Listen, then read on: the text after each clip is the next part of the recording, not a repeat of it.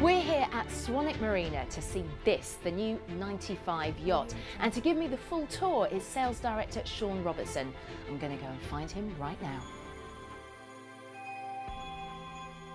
Audio Jungle.